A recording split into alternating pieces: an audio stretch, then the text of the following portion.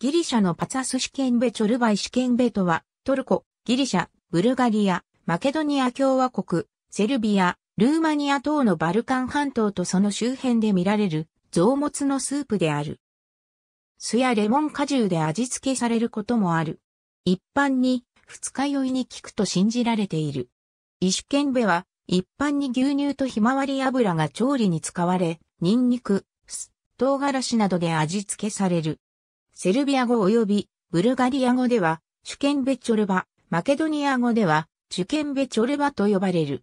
セルビアでは、新鮮な牛の胃袋を玉ねぎ、ニンニク、パプリカと共に調理する。揚げたベーコンとニンニクなどで味付けされる。ギリシャ語では、パツァスと呼ばれる。これはトルコ語で、足等を意味する言葉、パッサに由来する。トルコ語のエスッケムに由来するスケンベスの呼び名もまた広く用いられている。ギリシャ版では子牛の足を用いることもあり、赤ブドウ酢やニンニク、アボゴレモノで味付けされる。ルーマニア語ではチョルバデブルタと呼ばれ、豚の足のスープ、チョルバデチョカネレの変種として、これと同様に調理して供される。また、異なる種類の胃袋のスープはチェコでよく見られ、ドルシチコバーポレーフカと呼ばれる。これもまた、二日酔いに効くとされている。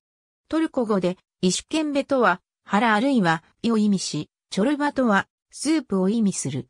いずれも、ペルシャ語に起源を持つ言葉である。ありがとうございます。